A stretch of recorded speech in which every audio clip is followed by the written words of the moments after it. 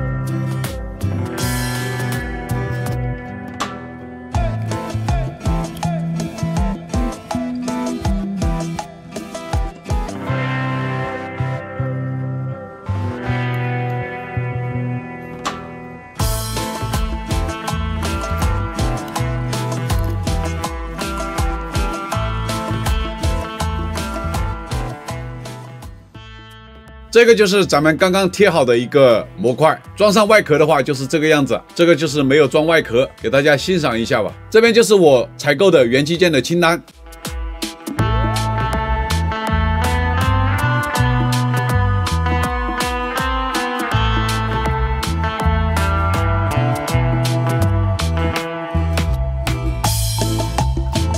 模块的话，我们直接。插上去就可以使用了。我们按一下这个按键，还有两格电量，用这个酷代科十五号来试一下它的功率的情况。输出功率一百三十四瓦，一百四十瓦的功率啊，这是酷泰科十五号输出的情况。给这个充电站充电的功率用的是安克的一百四十瓦，输入功率是一百二十六瓦。咱们再用苹果一百四十瓦来充电，输入功率是一百二十九瓦。这个是联想的一百四十瓦，输入功率也是一百二十九瓦。用酷泰克的十五号充电器，输入功率一百二十八瓦。用奥海的充电器一百二十七瓦。这个电池模组的制作过程我们就不展示了，直接拆开给大家看一下。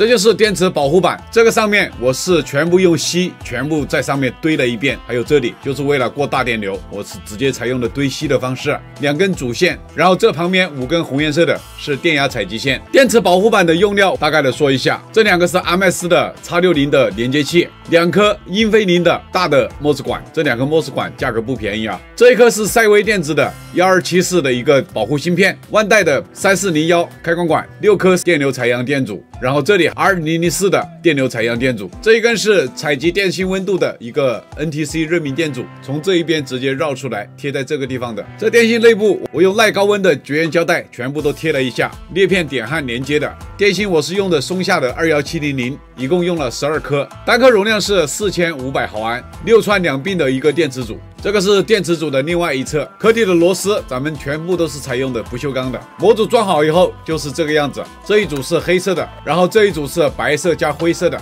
内部的用料都是一模一样的。我们现在就是直接来测试，这一个储能模块它的转换效率的情况。直接用这一个刚刚装好的这个模块，我们来进行测试。仪表的话，还是用智翔的仪表来测试。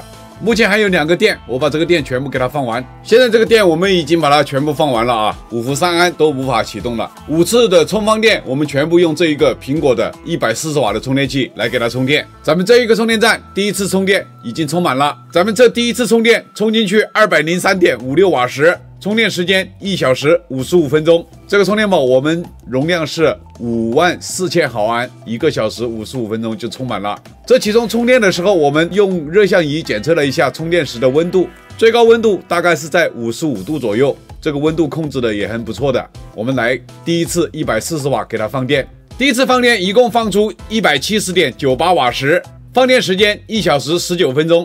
咱们这一次放电过程。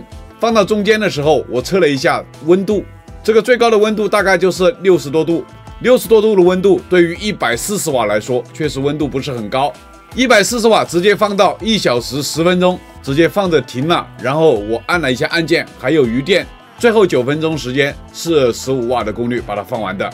咱们这个充电站第二次充电又已经充满了，这一次充进去电量是二百零一点九七瓦时，充电时间一小时五十八分钟。咱们这一次还是用一百四十瓦的功率来给它放电。咱们这个充电宝第二次放电又已经把它放完了，这一次放出电量一百七十二点五九瓦时，放电时间一小时三十二分钟。这一次一百四十瓦的功率。一共放了一小时十五分钟，后面十七分钟是用的五伏三安十五瓦的功率把它放干的。这个充电宝第三次充电已完成，这一次充进去电量二百零二点八一瓦时，充电的时间是一小时五十六分钟。咱们这一次放电的话，就给它一百瓦的功率来给它放电。这个充电宝一百瓦放电放完了，这一次放出电量一百七十三点四一瓦时，放电时间一小时五十九分钟。这个一百瓦放电的情况是一直放到一小时四十分钟停了，然后我。看还有余电，就用五伏十十五瓦的功率放了十九分钟，把这个电全部放干。这个充电宝第四次充电已经充满了，这一次充电充进去二百零二点二三瓦时，充电宝充满以后，咱们搞忘了拔出来，最后一直都是零瓦的电量往里面输，就不影响我们这个充进去电量的数值。咱们这一次放电还是用一百瓦的功率放电，这一次放出电量一百七十一点九九瓦时，放电时间。一小时五十五分钟，跟前面第三次放电是一样的效果啊！一百瓦放电一小时四十分钟，后面十五分钟是五伏三安的功率把它放完的。最后一次充电已经充满了，这一次充进电量两百点二九瓦时，充电时间一小时五十七分钟时间。这一次放电我们就是长时间的放电啊，五伏三安的功率。这最后一次放电终于放完了，一共放出一百七十一点三六瓦时。放电时间花了我十一个小时二十一分钟，真的是漫长的放电过程啊！总共放出容量是三万四千一百二十六毫安，我们是五伏三安的功率放电，这个容量是五万四千毫安，它是三点七伏的情况，跟五伏的情况的话是有差距的。所有的品牌的标注一万毫安，实际是五千毫安；标注两万毫安，实际是一万多一点点毫安，都是这样的啊。这样五次的充放电循环，我们测试下来。得到它的实际的转换效率，平均下来是百分之八十五。这样一个转换效率高不高，好不好？由各位老铁们你们说了算。这个充电宝从五次充放电的情况，大家可以看到，这个转换效率确实不是虚的，百分之八十五的实测转换效率。我们现在要做的就是来测试一下这个充电宝的纹波情况。这个储能模块电已经放完了，我们就用这一个模块来进行测试纹波。这个充电宝的好处就是就可以直接把它取下来，两个充电宝的盖子我都卸下来了，内部的板子都是一模一样的。测试文波还是用我们前面刚贴好的这一个模块。只要是搞电子 DIY 的，他都知道 IP 二三六六这颗芯片的文波是非常难压制的。我们来看一下这一个模块，它能控制到什么样的水平？现在是五伏三安十五瓦功率的时候，它的纹波最高的时候二十五点一毫伏，平均纹波十七点二毫伏左右。九伏三安二十七瓦功率，它的纹波最高的时候五十二点七毫伏，平均纹波二十七点四毫伏左右。十二伏三安三十六瓦功率，它的纹波最高的时候四十九点五毫伏，平均纹波三十二点七毫伏左右。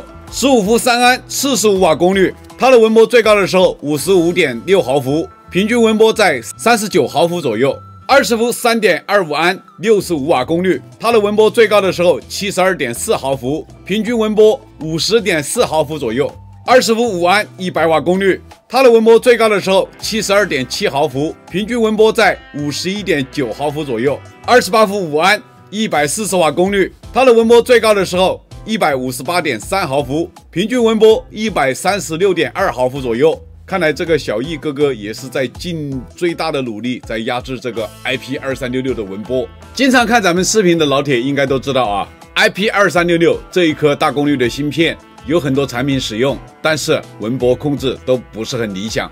这一个的话，一百多毫伏，没有超过国家标准的两百毫伏，这个控制的已经非常非常不错了啊。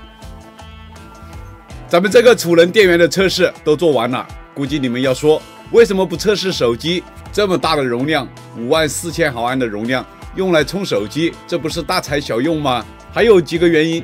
第一个原因就是，大家看看这个模块这一边，这三个接口是用来充无人机航模电池的，也可以用来扩展使用。后续的话，咱们给大家推出几款扩展模块来适配这一个电源。还有一个原因就是，IP 二三六六这个芯片，它的手机兼容性只能说很一般。